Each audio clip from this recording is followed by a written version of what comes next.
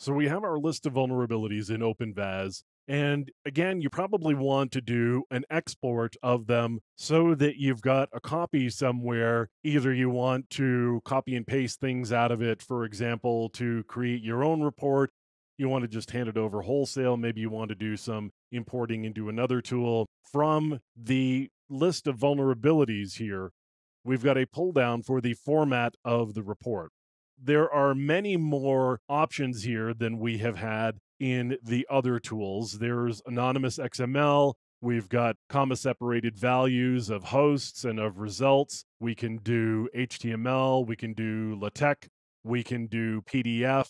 And let's just select PDF. That was the default after all. So we're going to generate a report. And I'm just going to open it up so that we can see what we get for a report. And this looks very similar to some of the other ones that we have looked at.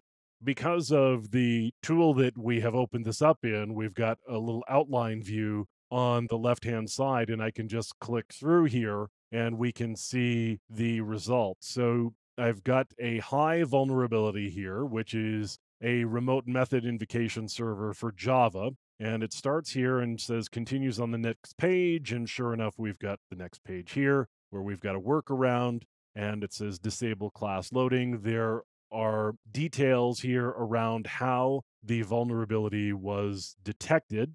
And there are a number of vulnerabilities, and we've got a pretty long report. This isn't quite as long as one that we had looked at previously. This is 109 pages long, but considering the number of vulnerabilities that we've got, that actually is not an unreasonable number of pages to have. We do have a lot of vulnerabilities on this particular host. As I said earlier, this is a system that is designed specifically with a lot of vulnerabilities in it for this very kind of work. So, getting a copy of Metasploitable is a great idea. I'm using Metasploitable 2.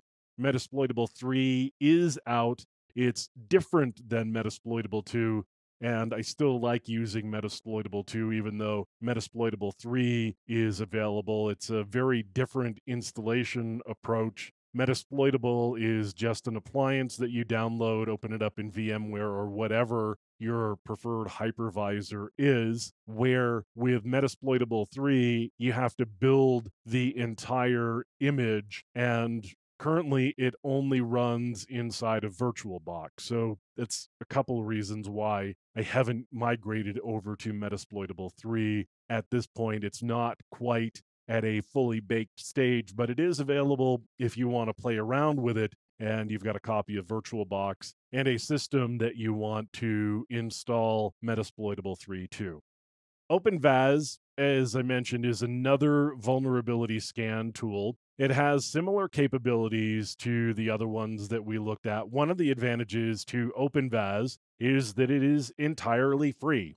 It is something that you don't have to go through any licensing for. You don't have to limit yourself to the type of work that you do with it, where you would with the Nessus Home or the Nexpose Community Edition, where it's a limited implementation, so you can only do 32 hosts, and it doesn't have the capabilities of the versions of Nexpose that you pay for. So this one is entirely free. It may not be as pretty or user friendly as the others, but as I said, it doesn't cost anything. It comes with Kali. If you're using Kali Linux as your primary operating system for doing this kind of work, then certainly you can make use of OpenVAS, if nothing else, than to just get started on playing around with doing vulnerability scanning.